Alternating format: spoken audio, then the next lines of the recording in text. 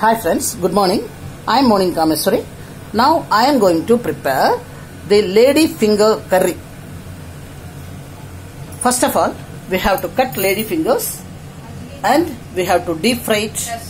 After that, we have to cut onions long pieces and tomato. We have to fry with adding little oil and keep aside and make a paste of frying cashew nuts and poppy seeds. We have to fry little without any oil. Poppy seeds, one this tablespoon of uh, poppy seeds and two tablespoons of cashew nuts. We have to take it and we have to fry little and we have to make a paste. After that, we have to add the tomato and onion and make a paste. And now we have to add little oil into a pan and add little cumin seeds and two or three green chilies. Now we have to prepare the paste for this.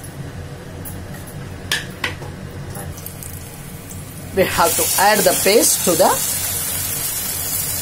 tadka.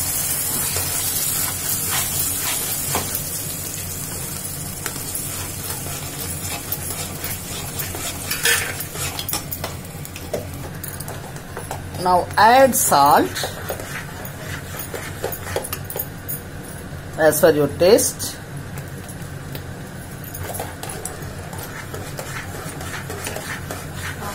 Hmm. Half spoon garam masala.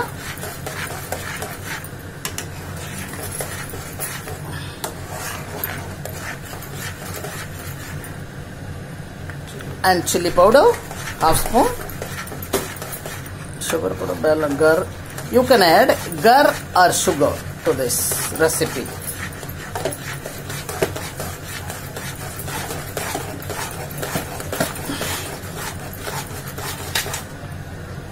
and also you add curd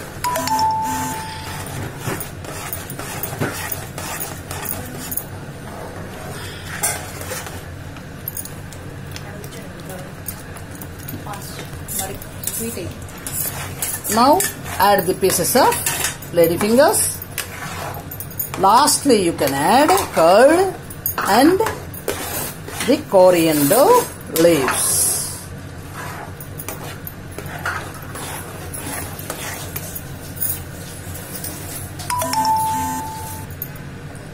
Now you can add curd if needed you can add